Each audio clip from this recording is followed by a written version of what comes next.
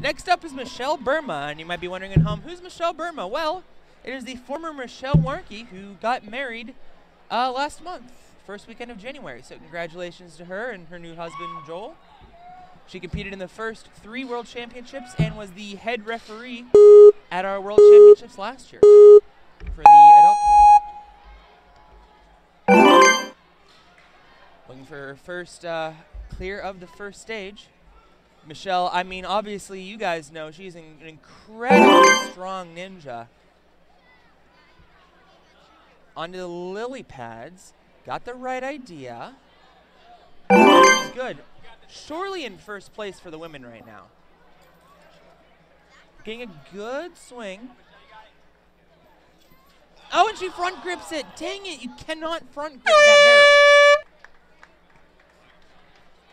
Uh, but giving high fives to the crowd. Michelle, always so positive, such a positive influence on our community.